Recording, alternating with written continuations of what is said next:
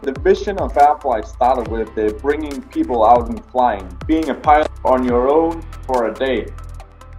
Really about catching that freedom that most of us have had uh, through our youth.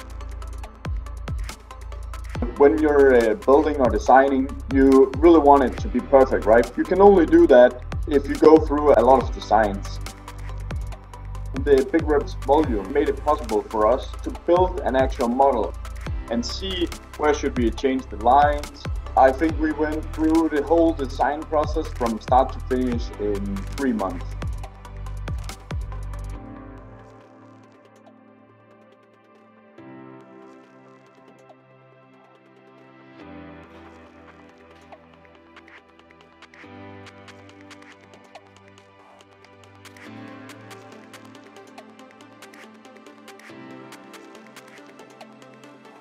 This is why 3D printing is super nice. You can see kind of all the awkward shapes, right?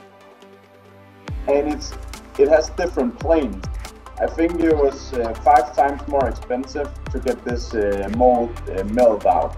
Airflight uses uh, prepreg, which is impregnated carbon fiber, and that needs an oven to cure, and that puts some demands on the material that you're using for the mold, because you don't want any distortion we are actually able to do it with a with a cost-effective material like the, the high-temp CF from BigRep.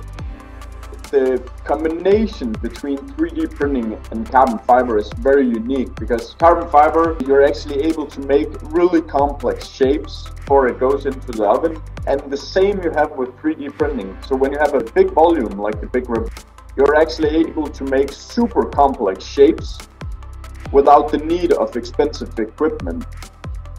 This method is very fast, cost effective, and we can do a lot of iterations. That's where 3D printing and carbon fiber are made for each other.